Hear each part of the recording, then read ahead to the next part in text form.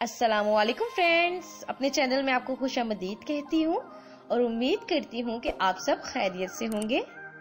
Description میں دیے گئے لنک کو سبسکرائب کریں اور بیل آئیکن کو کلک کریں۔ اس چینل میں ہم آپ کے لیے پاکستان شعبے سے جڑی نئی اپڈیٹ بناتے رہیں گے۔ تو براہ مہربانی ڈسکرپشن میں دیے گئے لنک والے چینل کو سبسکرائب کریں۔ السلام علیکم، آج ٹوینٹی جون ہے اور میں پلازما ڈونیٹ کر رہا ہوں۔ میرا کووڈ نائنٹین پازیٹیو آیا تھا۔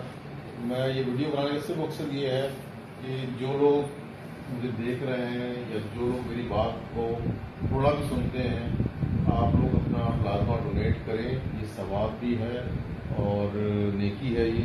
کیونکہ آپ کو اللہ نے ایک مشکل مرض، ایک مشکل آزمائش میں ڈالا تھا اور اسی آزمائش سے اللہ تعالیٰ نے باہر نکالا ہے آپ کو۔